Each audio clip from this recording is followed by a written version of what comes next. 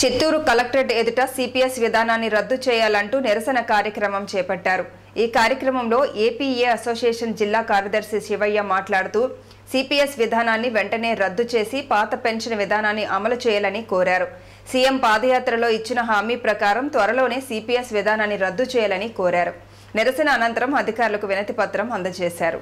ఈ కార్యక్రమంలో బాలాజీరెడ్డి తదితరులు పాల్గొన్నారు. ఒకటి ఒకటి రెండు వేల నాలుగులో భారతదేశం అంతా గత ప్రభుత్వం సిపిఎస్ని తీసుకొచ్చింది. మన ఉమ్మడి ఆంధ్రప్రదేశ్లో ఒకటి తొమ్మిది రెండు వేల నాలుగులో అమల్లోకి తీసుకొచ్చారు.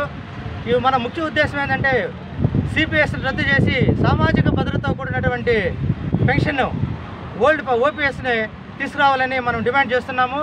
ముఖ్యంగా ప్రజా సంకల్ప యాత్రలో మన వైఎస్ జగన్మోహన్ రెడ్డి గారు ఇచ్చిన హామీల్ని తప్పక నెరవేరుస్తారని సిపిఎస్ రద్దు చేస్తారని ఆ రోజు హామీ ఇచ్చారు.